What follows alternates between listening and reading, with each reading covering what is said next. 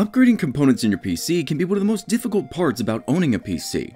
Want a new CPU? Well, have fun swapping the motherboard. Want a new power supply? Have fun cable managing. But the most rigorous upgrade would have to be a case swap.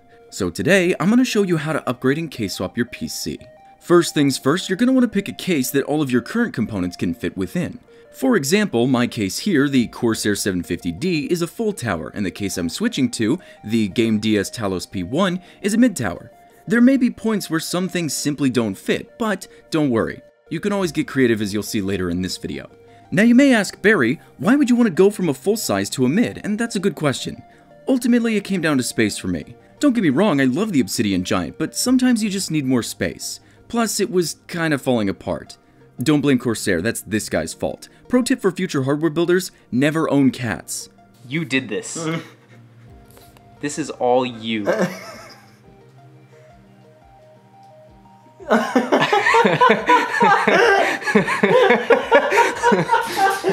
Once you've found the right case for you, it's time to begin. Before we start just ripping components out though, please make sure there aren't any USBs still plugged into your motherboard as this could damage the board on the way out, or you may simply just lose your Bluetooth adapter. After that, you can start removing components. Start with the easy stuff like graphics cards and RAM before moving on to the more difficult components like power supplies and liquid coolers.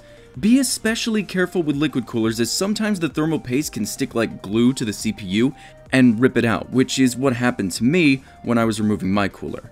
Must have tightened it with some muscles. I just bought some muscles and tightened them with. Oh crap! It ripped my processor out.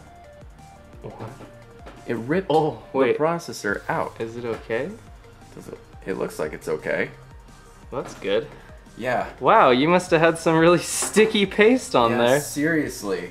Luckily the CPU was fine, but this has happened more than just once, so try to be deliberate with everything you remove, and always be sure to keep your removed components somewhere safe and away from static. Once you've removed your cooler, you can remove your spinning drives and SSDs. Keeping these things in order is very important, so be sure to remember which drive you had your operating system installed on. After that, I recommend removing the power supply. This is probably going to be the most annoying part as all the cables need to be removed along with it. This can be especially annoying if your power supply is non-modular. Be funny if you hurt yourself on film. I can't hurt myself on this. Ah, the power supply cables have always been like one of my least favorite parts. They're annoying. You gotta like really Especially- click them in, and yeah, the ones down here. Yeah. Now remember, kids, your power supply doesn't matter. You can get a twenty dollar one. You can get a fifty dollar one. If it's from China, it's better. Yeah, yeah. Don't get Corsair or EVGA.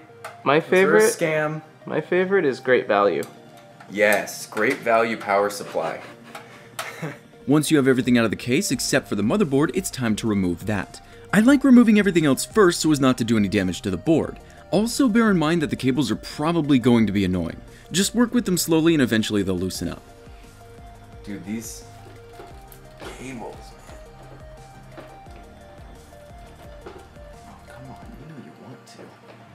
Tell me what you want, what you really, really want. What is your I also recommend keeping the CPU inside the motherboard just to ensure you don't bend any pins either on the board or CPU, depending on the brand and socket that you have. Once everything's fully removed, you're ready to grab your new case and repeat the same process, only backwards. Now in this case, we're also going to be upgrading. I'm going from the Ryzen 7 1700 to the Intel 8700K. I'm also switching from the Asus Crosshair 6 Hero to the ROG Strix H370F. Before we just throw everything in the case though, we should first prep our motherboard. Start with the CPU and be careful to put it in correctly. Next, you want to pop in the RAM. This always takes a little pressure, but be sure the teeth are lined up with the DIMM slots. Do that wrong and you face ruining either the RAM or the slot. It's also important to remember that if you are using a third-party cooler that you'll probably need to install some type of bracket onto the back of the board. Don't forget to do this before screwing the motherboard into the case. Another thing many first-time hardware builders don't know about is standoffs. Some cases come with them already installed or even as a part of the case, but using these ensure you don't ground out the motherboard when it's installed within the case. Now a lot of new motherboards come with the I.O. shield installed on the board, which is very handy but if yours does not, make sure you have that in there before putting the motherboard into the case. Once you have it in there and aligned, you can go ahead and screw it down.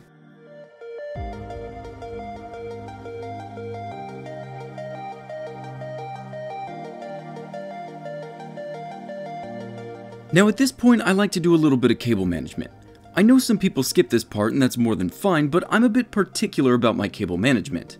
A job as a computer hardware technician will do that to you. Make sure you route your cables in such a way that you'll see as few wires as possible through the front of the case. The front panel headers will probably be the most difficult part for beginners, so be sure to check the manual or front panel to find out where to plug these in. Then go ahead and plug in your USB 3, your USB standard, and your HD audio. After you've got the cabling out of the way, we can move on to our hard drives and SSDs. Now in this case, there wasn't an obvious place for my SSD. There were two hard drive slots, but nothing other than that. This is the part where you may need to do a little improvising, and we just ended up screwing the SSD on the backside of the case, which worked like a charm. Next comes the power supply. Now I already had a 1000 watt power supply that I'd gotten from Falcon Northwest before I left. However, Gamdias decided to send out their new RGB 1200 watt power supply, which I simply couldn't turn down.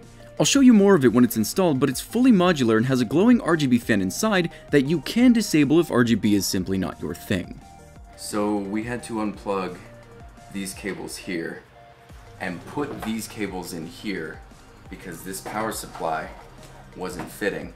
Once we put these cords in, however, we realized that the power supply just doesn't fit inside the case. Luckily for us, the drive bay here is removable. It does suck that we have to do that, but that is something that we now have to do. So, you know, one of those things, computer building inside a smaller case. It's not even that small, but it's a thing that happens.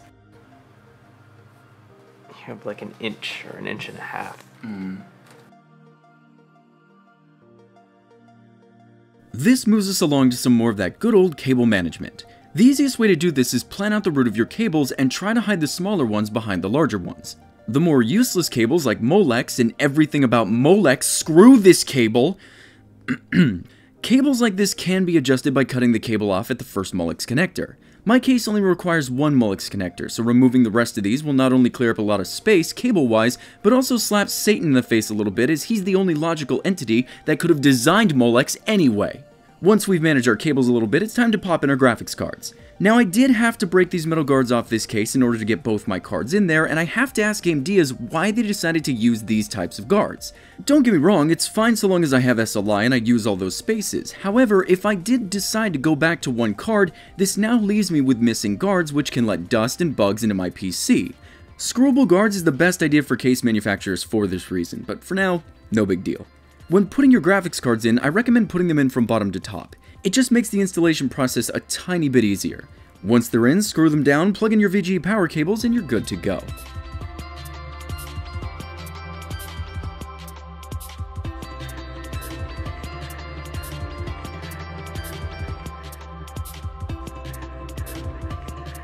Now it's time to install the liquid cooler.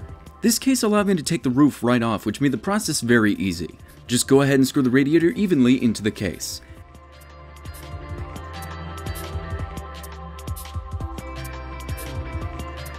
After that, you can apply thermal paste to your CPU and secure the water block onto the processor.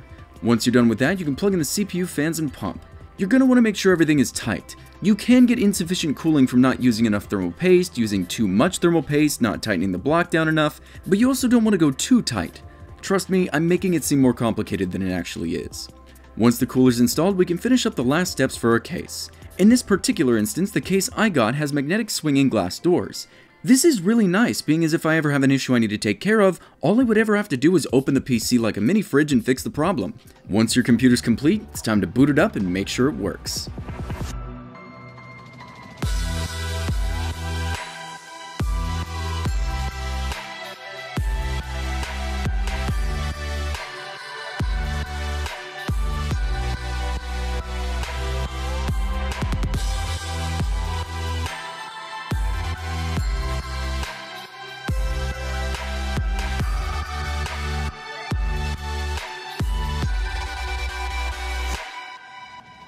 And that's how you case swap and upgrade your PC. I really hope this video was able to help you out. I want to give a huge thank you to Gamdias for the PC case and power supply. This video could not have been made without you guys. Thank you all so much, screw Molex, and I'll see you next time.